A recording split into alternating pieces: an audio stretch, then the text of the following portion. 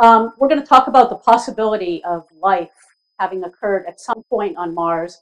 And the story, like the story of many things in our daily life, begins with water. Okay? In 1666, Cassini first observed Mars and noticed that it had polar caps.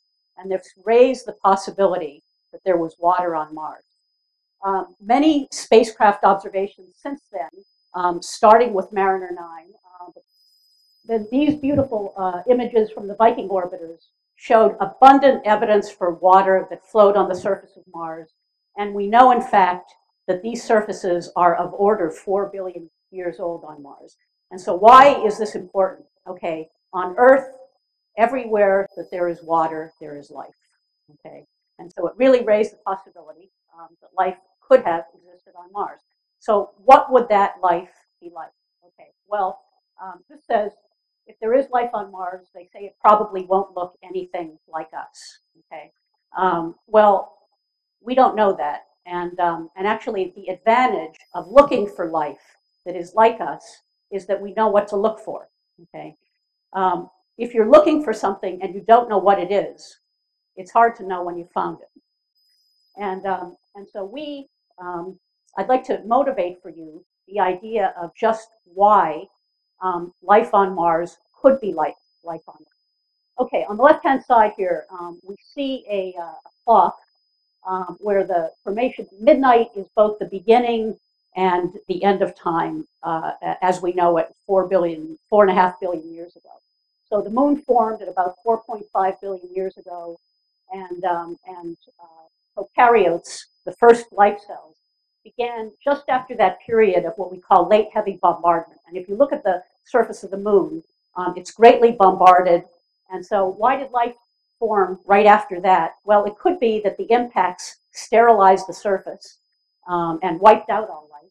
Or it could be that life got transferred between one planet and another um, on those rocks. Okay, and um, we know, in fact, um, this is a picture of a Martian meteorite um, that material gets transferred be- between planets. And we know that this meteorite was never uh, reached sterilization temperatures, even when it came through the Earth's atmosphere. And in fact, we believe that a billion tons of rock were exchanged between Earth and Mars because of impact impacts blasting material off of the surface of Earth, transporting it to Mars, and vice versa. So most of that material um, uh, would have come off of Mars and towards Earth, um, but some of that material could have come off Earth and before Mars. So if life on Mars is related to life on Earth, it's not clear which planet it would have started at.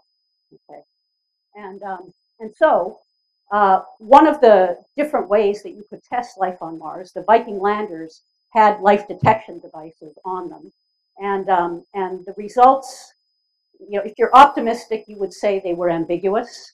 And if you're um, pessimistic or realistic, you would say they were negative. Okay, um, but we know what life on Earth looks like, and um, and so uh, we had the idea, or we have the idea, that we could search for DNA-based life. It could be DNA, uh, protein-based life, or RNA-based life. Um, but you know what that looks like, and you know uh, what it looks like. So this is a collaboration actually between um, various Harvard and MIT people, mainly Gary Ruvkun of uh, Harvard Medical School and myself and a large group of people um, to develop a life detection um, device, um, essentially a DNA amplifier and sequencer um, where we could look for informational polymers that could be related to life on Earth. And so the, um, the idea behind that is that if we look at the tree of life here, here we have the least uh, universal common ancestor, the DNA world, and the RNA world. Um, on Earth, this is what life um, looks like. And down here, um, these polymers are common to all life forms. Okay. Um, so on Mars, um, could there be a common tree of life?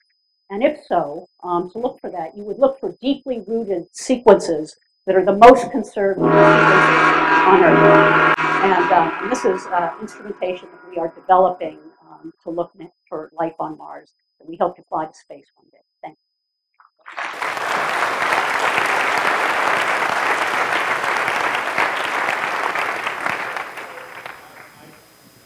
It's ridiculous, isn't it? Five minutes.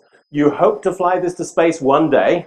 You can't stop that. Please, you, you had to stop that. Uh, have you plans? I mean, is there a schedule? Uh, do you have a space booked on a on a probe? Well, What, what's not- that going to be? No, we're not booked on a probe, so for, you, you need a, um, uh, you need to design an instrument, prove that it works on Earth. So, um, uh, next week, uh, members of our team are, uh, gonna be down at the high desert in Argentina, um, in extreme environments, testing the instrumentation and, uh, Okay. trying to sequence some extreme, uh, life forms, um, in that area. And, um, and then we will be in a position where we can write a proposal. And, uh, the next, uh, uh, they're, they're talking about, a, say, a 2017 um, Mars, uh, Mars lander that we will propose for. Fantastic. Thank you. Please, over here. So, what characteristics are there on Earth that allow for water, for there to be water, and what does Mars lack so that there is no water there? Uh, well, Mars actually has a great deal of water that is close to the surface. Um, and that actually, that's one of the things that lead people to believe that life could in fact exist today deep beneath the surface. So uh, if you go up to near the polar regions of Mars and you go a meter deep below the surface, there is as much as 70% water by volume there. And it's in the form of ice because Mars is cold today, but it was warmer in the past. And if you go deeper beneath the surface, um, that ice will become water.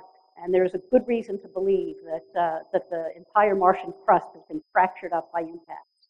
And um, so there's a lot of places for life to have perhaps uh, hidden out. Uh, what's stopping it from being on the surface like there is on Earth? What's stopping it? Uh, 6.1 millibar surface pressure, so that water would evaporate um, instantly. If you, if you poured water out of a thermos bottle on Mars, it would evaporate by the time it hit the ground. Thank you. Over here, yes, please. Is it not possible that life was on Mars and then all the evidence will be destroyed by the strong radiation? Uh, that's true, and that, that is uh, near the surface, and that's why I think anything that you want to do uh, at the surface of Mars, you want to dig uh, beneath the surface. So, or I mean, but you can't you can't rule out the fact actually that the energy actually is a, an energy source for the life. Um, but uh, but that it wouldn't be our first guess. So um, so anything that you would send to the surface of Mars would uh, would go beneath the surface. And we'll just alternate here for now. Please, yes. So, uh, when you get whatever system that you're taking to Mars, actually land there, what is the like the sampling strategy and so on? Are you going to take samples as like geographically dispersed as possible, or do you think that anywhere you bore down, you're going to be able to find something if it's there? Okay, well, it's, it's, it would not be clear if it was going to be a lander or a rover, and NASA's deciding uh, on that now, okay? Um, however, uh, so you would want to sample from air, because that's easy, okay? And, um, and you would, um, if all Mars rovers have a, a scoop uh, associated with them, so that you would be able to get below the surface, and NASA provides that, okay? So that's a, that's a sampling scoop. And then um, one of the important things is that you actually have to sequence when you get there to see what you took with you, um, because you sterilize it, always something goes with you. And actually, one of the key things is you have a, you know, if you're going to convince anybody you found life, you have to know what you launch with and then what you have once you get there before you open up the vacuum to uh, sample the Martian environment. Yeah. Please. Uh, how would you define life? How would I define life? Um, something, well, I would define life as something that um, feeds itself and reproduces. Okay, um, but uh, you know, in terms of the, the chemistry, it would be you know having a, a certain set of uh, of polymers that would be uh, similar to what we have on Earth. So one thing that's always struck me is that it's, uh, to put it mildly, for biologists, frustrating that we only have, as it were, one sample of life, at least in the evolutionary sense, to base all our current knowledge on.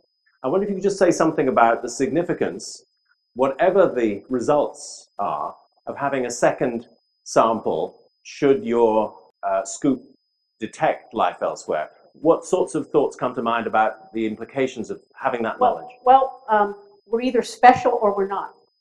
okay. And, and um, and and those are actually equally interesting um, possibilities. Um, and, um, and and I think that, that if we don't find on Mars life on Mars, and, and of course this is a very low probability, but the consequences are so huge.